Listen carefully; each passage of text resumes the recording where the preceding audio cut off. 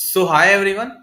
Meta has released Llama 3.1 which has been released into three versions that is 7 billion, 80 billion and 405 billion parameters making it Meta's largest open source AI model ever. Talking about the performance uh, as claimed it has already beaten GPT-4 and Claude 3.5 on various tasks.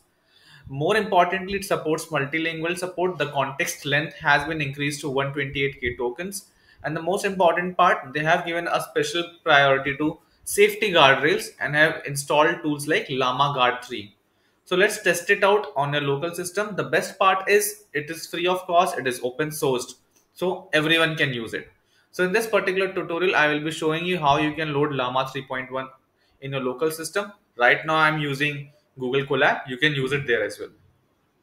So first of all, you need to pip install transformers once you have pip installed transformers do remember to install the upgraded version. So if you have already installed transformers you need to upgrade it. Pass your hugging face read token as hf token in the environment variable.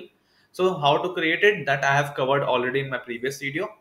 Once done this is the particular model id that i'm loading. So i'm loading the 8 billion the smallest model for now. That is 8b hyphen instruct Meta-Llama hyphen 3.1 hyphen 8b as you can see here if you have a better hardware, you can go with the higher models.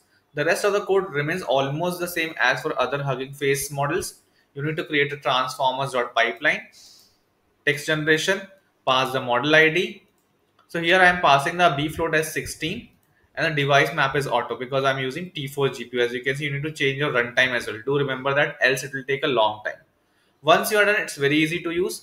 We would be using the chat interface so if you have used uh, lang it's very similar to that. You need to pass the role that is system and content. So basically now the LM would enact in the same way. So you are a pirate chatbot who always responds in a pirate speak. This is the default example that is given.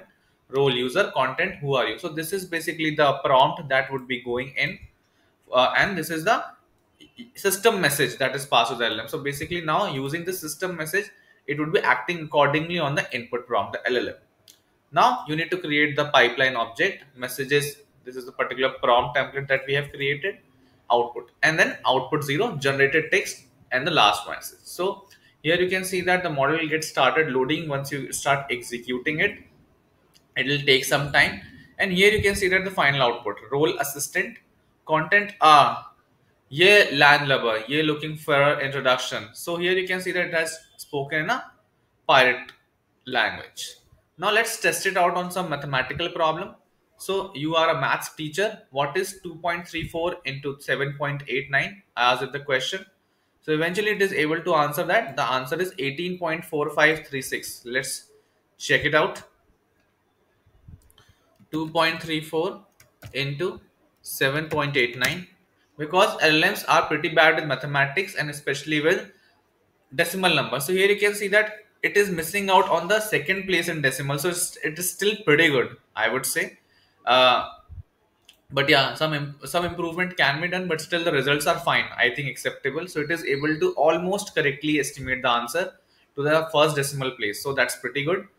And the last part, I'm trying to use it as a language translator, and I've given it a message like, "Hey, this is Mehul. How can I help you?"